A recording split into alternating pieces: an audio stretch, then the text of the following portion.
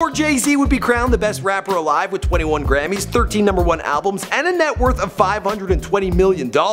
Before Jay-Z would stop promoting Cristal champagne in his songs after the manager of the company made some ignorant and ungrateful comments about him. I'm Cristal. Like the champagne? Before Jay-Z and Beyonce became the biggest power couple in the biz, only to have his cheating scandal rock headlines and have people question if Bey would stick by her man. Yeah, and on top of that, there was the whole elevator fiasco. Before it was speculated that Jay-Z had cult connections with people thinking he was a member of the Freemason Society due to his lyrics in Run This Town. Before Nas took a shot at Jay-Z in his track Ether, Carter wanted to be the best at everything he did from a young age. He was the top of his class with a strength in English, and he took to writing to express himself when his father abandoned the family. His skill was incredible, but his rap style was ahead of its time, and at first success it didn't come.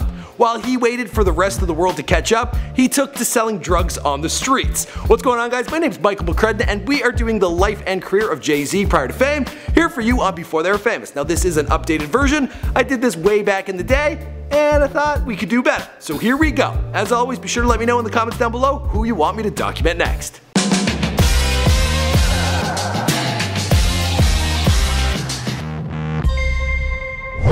Carter was born on December 4th, 1969 to Gloria Carter and Adnes Reeves. He weighed 10 pounds at birth. Poor lady! He and his three siblings, they lived in Brownstone with his grandmother, Hattie White, and their house seemed to be the life of the party. The whole extended family would come over and Sunday dinners, they would play loud music and have a wild time. Shawn always loved music and thanks to his parents' incredible record collection, it was like being a kid in a candy shop, or a kid in a record shop, I suppose.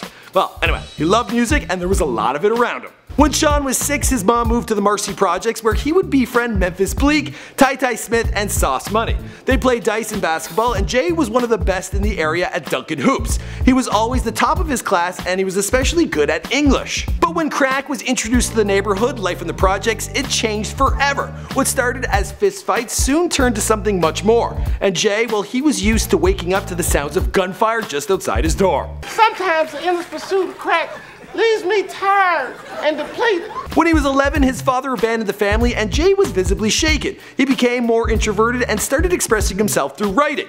Sitting at the dinner table, he would write down lyrics so small and messy that no one else could understand it but him. Soon he was banging on the table in his room late at night, mumbling over the beat and working on his signature flow. You thought that annoyed his siblings while they were trying to sleep? Imagine how they felt when his mom bought him a beatbox one day. Shawn listened to tapes of Kurtis Blow, Run DMC, Doug Fresh, and Slick Rick endlessly until he could understand every word that was being said. He also read anything he could get his hands on, including dictionaries, studying new words, and building on his rhymes. Soon his skill was undeniable and his flow was so fast and smooth, his friends started calling him Jazzy. From there, he would start rapping under the name Jay-Z.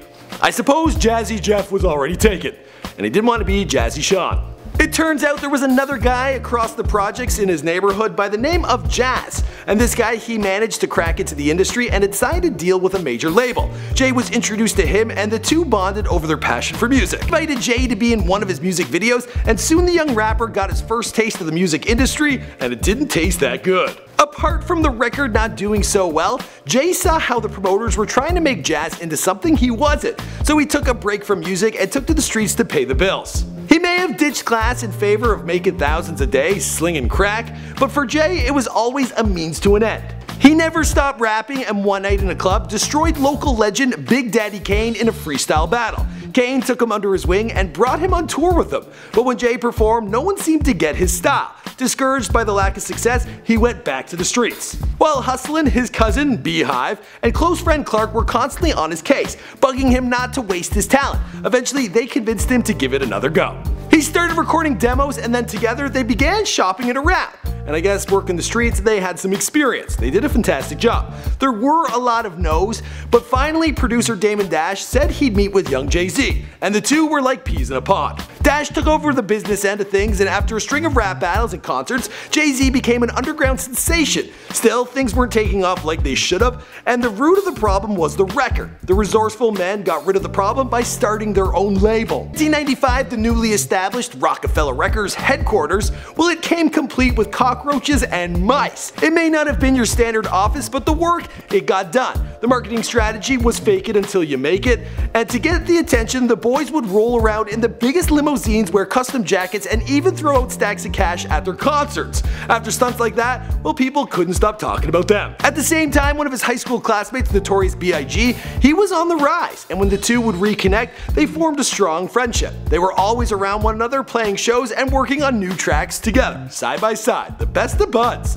Jay-Z had a lot of cool friends. By the way, I've done it before they're dead on Notorious B.I.G. You should definitely check it out. In June of 1996, Jay started selling his first album, Reasonable Doubt, out of the trunk of his car. Biggie's appearance on Brooklyn's Finest came as a surprise to listeners, as well as featured artist Foxy Brown and Mary J. Blige. The album went on to get radio play and solidified Jay-Z as someone to be taken serious. The rest of the story, well you know the story because this is before they're famous. My name is Michael McCrudden and I do all sorts of celebrity bios on here. We've done a lot of rappers like Lil Wayne, Fetty Wap, Meek Mill, Gucci Mane, Rick Ross. There's like uh, a lot of videos, a lot of bios.